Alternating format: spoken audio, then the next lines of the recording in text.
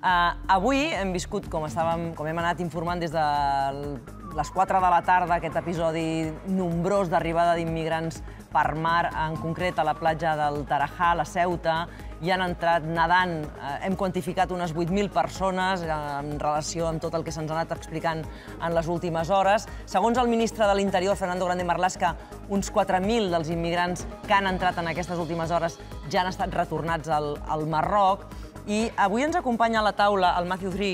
Matthew, bona tarda, bona benvingut. Tarda. Eh, ens Gràcies. porta aquest llibre, No sóc racista, però, que abans dèiem eh, que és una expressió que tantes vegades hem, hem sentit, no? I fins a quin punt eh, hem de fer una mica d'entonar de, un mea culpa i de dir eh, fins i tot l'hem pogut eh, pronunciar en algun moment, hem, eh, hem tingut actituds racistes de forma inconscient, en tenim, avui amb el Matthew, tenim ganes de plantejar-nos-ho. Eh, en relació amb, el que, amb aquestes imatges que estàvem veient, que, que les podem tornar a posar companys, tu dius en, en la introducció, diu, aquest món que aviat veurà unes migracions sense parió en la història de la humanitat. Mm. Quan ho llegia i després veia aquestes imatges, dic, mm, tal dit, tal fet.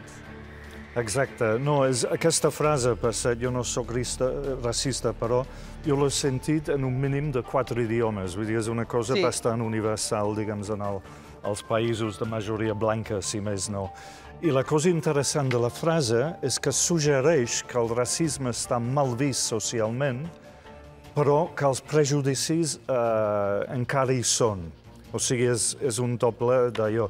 I el que és fascinant sobre tot el que està... Bueno, el sí, que el que estem vivint, fa poc, sí, sí. el que estem vivint, és que m'agradaria saber què hauria estat la reacció de les autoritats espanyoles si en comptes de 7.000 marroquins haguessin estat 7.000 suecs, saps? Que haguessin de cop i volta aterrat en territori espanyol. O sigui, segur que el tractament hauria estat Diferent. un altre.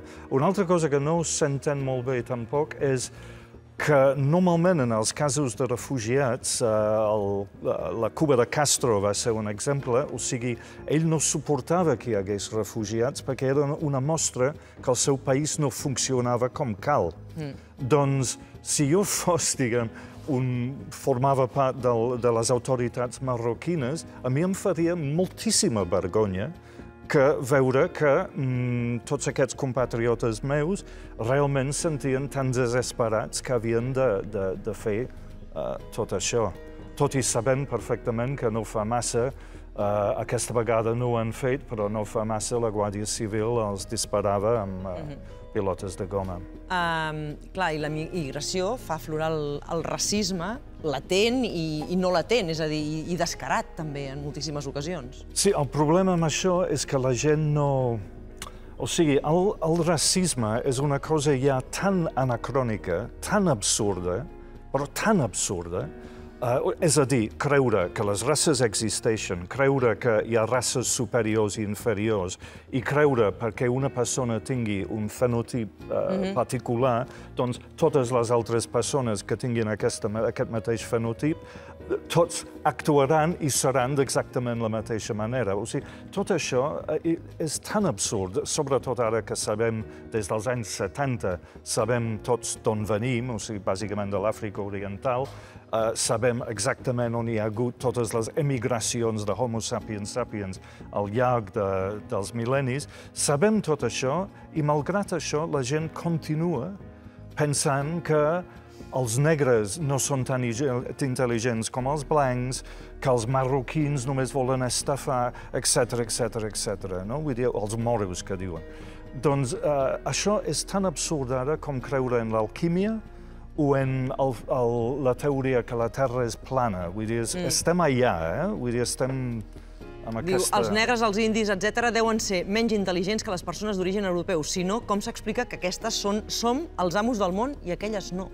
Sí, doncs ho explico dins el llibre, que com és, això va ser una mica la, uh, la sort del començament de l'agricultura, des del punt de vista Uh, o sigui, des del començament de l'agricultura tenim el començament de la civilització, que vol dir desenvolupament tecnològic, sociològic, religiós, etc etc. Però per tenir agricultura has de tenir animals i plantes domesticables. Doncs on eren aquests animals i, i, i uh, plantes? La major part el, el, uh, el creixent fèrtil, bàsicament Mesopotàmia. Mm. Uh, I, evidentment, això era més a prop uh, d'Europa. Aquests animals i plantes es van traslladar també a Europa.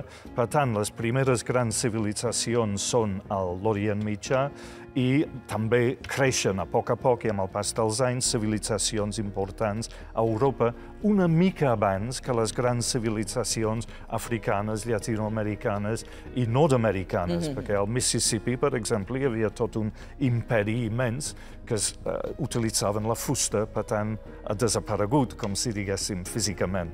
Però se, se sap que existia. Però bàsicament no hi ha... Uh, Vaja, tot això són casualitats de la història, però no són indicadors de la superior, eh, superioritat o la inferioritat de... de Volem saludar a dues persones per saber com ho estan vivint elles, la Montserrat Anguiano, artista afrocatalana, i la Salima Abdesamí. Bona tarda a totes dues i començo parlant amb la Montserrat. Uh, bona tarda. Bona tarda, Montserrat. En el, dia de, en el dia a dia, no sé fins a quin punt, en relació amb tot això que estàvem comentant ara amb el Matthew, eh, tu vius o has viscut casos de racisme o fins i tot una mica has percebut aquesta expressió que dona títol al llibre. No sóc racista, però... Ara hem perdut el so de la Montserrat. A veure? Montserrat? Hola, se'm sent? Ara, ara perfecte, ara perfecte, sí. Torna a començar. Doncs Gràcies, a mi, Montserrat. A mi, a mi, des de que m'he fet gran, sobretot és quan ho noto, no? Jo sóc una persona, sóc nascuda aquí, a, a Barcelona i adoptada, i quan era petita era, oh, era molt maco de veure aquell nen petit, però quan aquesta, quan aquesta persona es fa gran, comencen els problemes. I de vegades sembla que nosaltres, eh, pel fet de ser catalans, tinguem un privilegi, però que jo trobo que és important a dir que no és un privilegi, si més no és una discriminació, que jo hagi de patir um, aquestes discriminacions constants i no em deixin ser i no em deixin ser catalana, perquè hi ha molta gent que conec que han nascut aquí sí. i no se'ls reconeix com a ciutadans de ple dret, com a catalans de ple dret, no? Mare meva, que, quan parles, dius, no ens reconeixen com a ciutadans de ple dret, per exemple, problemes, dius, quins problemes? Posa exemples. Mira, Helena, a mi, sobretot el que més mal em fa, més que em diguin vés-te'n al teu país i de més, el que això t'ho diuen, això t'ho diuen, Montserrat, això, t'ho no, diuen. Un, no, sincerament a mi no m'ho han dit. Ah. De petita pot ser que em sí. diguessin algun comentari, però el racisme que hi ha aquí és bastant més subtil i no deixa de ser un racisme clar, que ens clar. fa mal. Clar, clar, clar. I et trobes els comentaris de jo anar pel poble, per Vic, la Garriga, sí, sí. i que em diguin oi, però que bé parles el català? I ja, jo dic, mm, ja, jo penso, ja. dic, però és que quin, quin idioma vols que parli si sóc catalana, no? Aquestes petites coses, que són situacions de microracisme, sí, sí, sí, sí. es deurien tractar i, i són coses que fa molt de mal, perquè mana molt l'imaginari col·lectiu. Mm -hmm. De pensar que una persona, com deia el Matiu, té un fenotip diferent al teu, sí, sí, sí, sí, sí. no pot ser eh, considerada com a persona catalana de ple dret. És que jo ho reivindico molt perquè perquè és una realitat. Nosaltres existim, no? Les, els altres catalans, que jo sempre he dit, els altres catalans, són catalans. Clar. I jo crec que estem al 2021 i que és super necessari que la gent comenci a ser conscient. I jo, jo penso també que una manera de fer que la gent sigui conscient de tot això és normalitzar i visibilitzar a les persones afrodescendents o racialitzades que estiguin aquí a Catalunya en aquest cas, no? Absolutament, Normalitzar. absolutament. Ara que parlaves de la, la inconsciència amb la que es poden fer aquests comentaris, no? Eh, D'una forma molt espontània. Ai, que bé que parles català.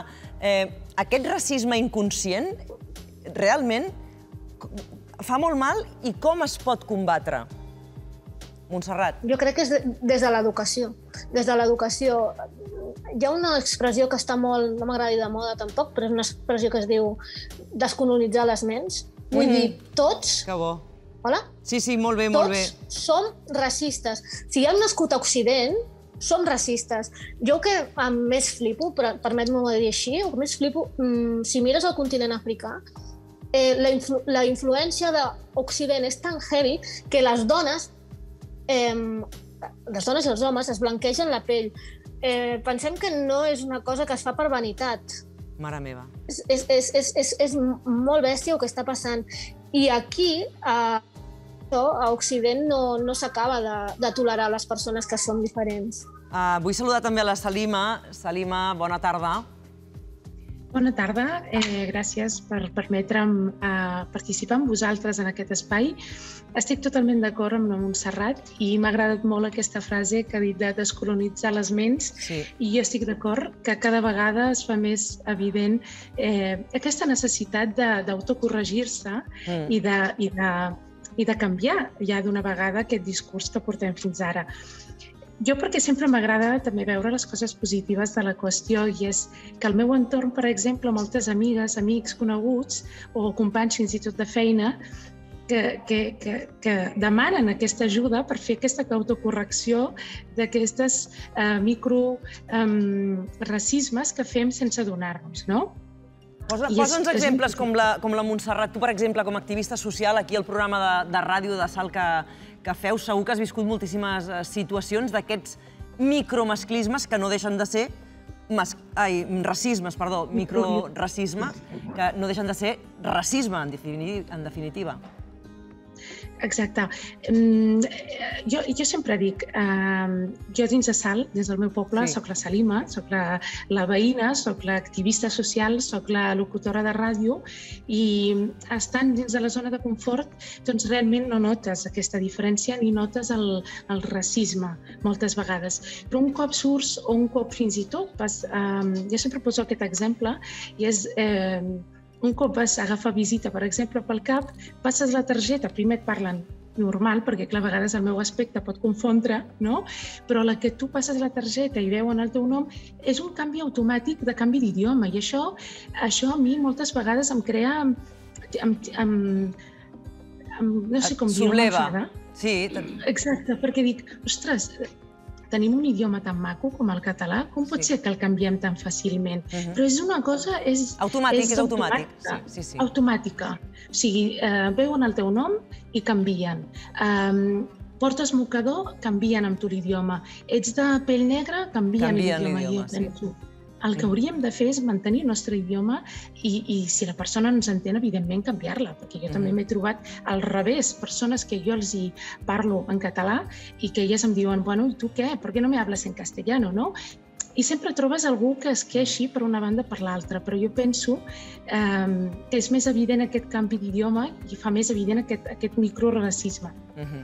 El Matthew volia dir alguna cosa en relació amb tot això que s'estava comentant, que comentava la Salima. Sí, no, no em feu començar, si plau, amb el tema del, de l'ús del català, perquè uh, fins i tot si tens un fenotip europeu com jo mateix, uh, si tens una mica cara de guiri o no tens un accent, com pa- parlo amb accent, uh, o fins i tot per la teva roba, al començament, ara tota la meva roba ve d'aquí, però abans no, venia de Londres i es notava una mica. I uh, amb, jo he estat en situacions on, en què tens una conversa de fins a 10 minuts en català amb una catalanoparlant o un catalanoparlant i de cop i volta s'adonen, per alguna raó, que tu ets estranger. I de cop i volta canvien al castellà. I per mi... Després d'una bona estona parlant en Després català. d'una bona estona. No, és una cosa absolutament delirant. I, i m'ha passat més d'una vegada i més de sis, com a mínim.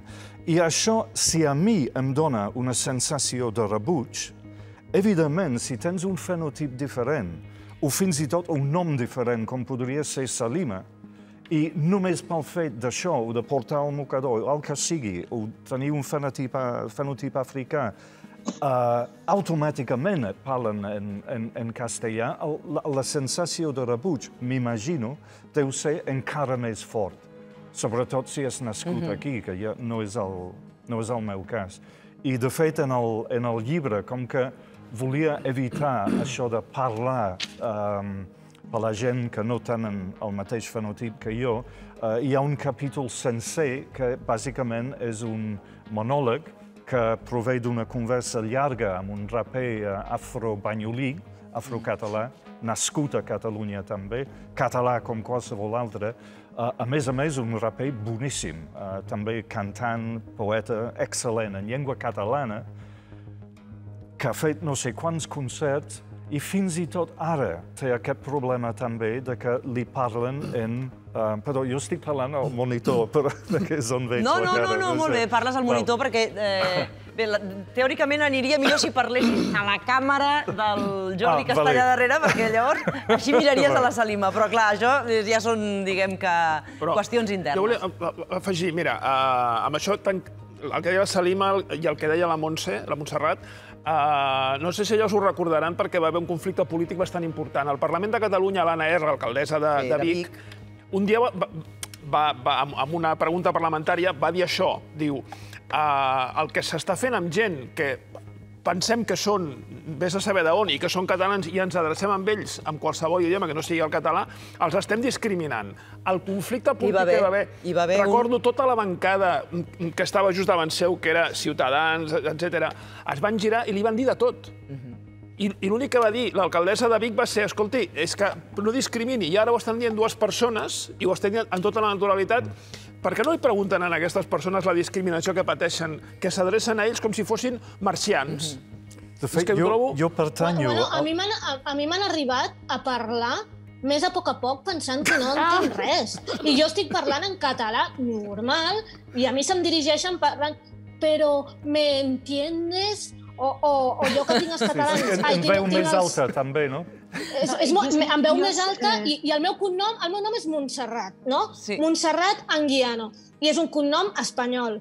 I, Sí. i, I ja pel fet, pel que tenen el seu imaginari col·lectiu, eh, fa que el meu cognom eh, els, se'ls hi fa com difícil, no sé d'on es pensen que venen. És que passen coses tan absurdes que pot ser com això, però jo, com a persona afrodescendent catalana, cada dia em passa alguna cosa. Cada dia, mare meva, mare meva. És Cada que- dia. Una vegada és una mirada, una vegada és un gest, una vegada és quan... Això ho diem moltes persones, ens passa comú, que a l'autobús mm, la gent no se sent al meu costat. Vull dir, mm, i al metro, o sigui, són, són petites Que coses que és com una gota malaia. Sí, sí, sí. Que van sí. calant no, i no, que no, fan i tant, mal, i tant. evidentment. Mare meva, mare meva. Um, El, hi ha una cosa també que, des del punt de vista dels catalans blancs, és francament extraordinàriament um, burra. I és que, uh, i aquí penso en l'experiència de, del país on vaig néixer. O sigui, la primera immigració de fenotip diferent, bàsicament és afrocaribenya. Comença a arribar a finals dels 50. Només s'ha de llegir, si es vol llegir un sol llibre sobre el tema, la novel·la d'Andrea Levy, traduïda al català, que es diu Petita Illa, que dona una idea del nivell de racisme. Racisme absolutament socialment acceptable i cru. No, no sóc racista, però, no. Jo sóc racista i no vull que entris al meu país.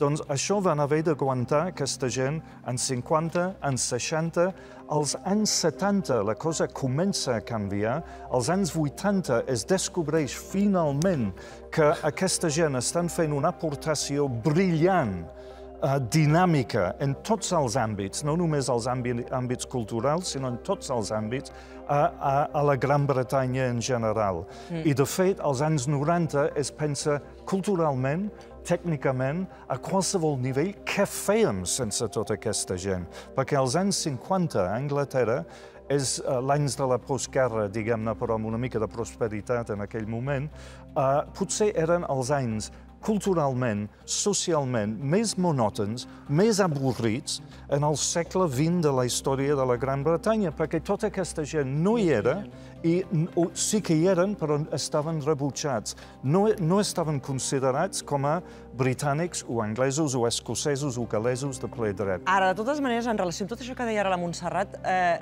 pensava, clar, la persona que es va dirigir a la Montserrat i que li va parlar en castellà, o li va parlar a poc a poc, com, com s'educa això? Perquè potser aquella persona ho feia com una deferència per si la Montserrat no l'entenia. Aleshores, si aquella persona, des del seu subconscient inconscient, el que volia ser era màximament curosa, educada, per al supòsit que no era, Però si fos que la Montserrat no l'entengués, clar, co- com s'educa això? Com, com això es canvia? Com es fa aquest...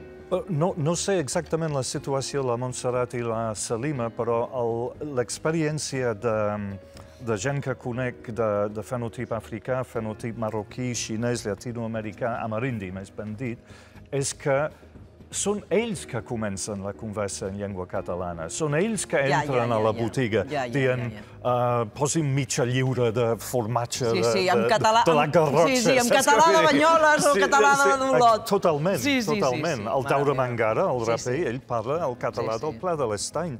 I encara així és el que ha dit la Montserrat, cada dia Es troba és aquest racisme microracismes invisible, microracisme. continus. Puc fer una pregunta Però, curta, Lera? Ma Matiu, ah, ah, perdó, perdó. Breument, breument, Montserrat digues. i Marina per acabar, sisplau. Digues, digues, jo que volia dir, llegint-me llegint el llibre del Matthew, ell comenta que és el segle XVIII quan, quan neix el racisme, perquè ve, ell explicava que ve dels anys, o sigui, el William John, John com William era? Jones, el, Wi- William Jones parlava d'això dels aris, i llavors en el segle XVIII, i llavors aquí va, va néixer el, el, el terme eh, raça. Realment Mhm. fins a aquell moment no, no havia existit, vull dir, és una cosa, i vull cal dir, vaig ràpid, eh, però cal dir que el racisme aquí és purament institucional, estructural i social. Vull dir, és, és, és un engranatge, vull dir, no és una cosa tan senzilla, vull dir, està intencionat. És intencionat Sí, sí. totalment. Sí, sí, I això s'ha de treballar. sí, I jo sí. penso que hi ha racisme passiu i actiu. És tan greu a l'actiu com al Com al passiu. passiu, sí, Perquè sí. estan agredint, si estan agredint algú i no fa res, estàs També, col·laborant. clar, I ets, clar, clar, i ets clar, un clar, sí, sí, racista, sí. també. Vull dir que això quedi clar. Montserrat, Salima, Màtiu i últim comentari de, de la Marina. Només molt ràpid. Uh, us volia demanar si noteu un canvi en les noves generacions. Els nanos a les escoles d'ara hi ha molta diversitat. Esclar. Són unes aules molt diverses. A la nostra època no. A la nostra època tots eren blancs catalanets de tota la vida, no? Uh, no és, la aquest resposta- canvi en l'educació dels nostres infants, La aquesta resposta varietat breu, que viuen la a les resposta aules... breu és sí. Menys mal. Bé, motiu per l'esperança. De fet, hi ha, hi ha casos de, de nois adolescents que ten, senten vergonya per l'actitud dels seus pares, perquè ells sí que han crescut i viscut... Amb normalitat. Amb normalitat. Clar, clar, clar. Escolta, ha sigut molt interessant. Mm, Màtiu, contenta de retrobar-te. Igualment Que vagi molt bé i molt interessant totes les reflexions que fas en aquest llibre. No sóc racista, però. Seguim.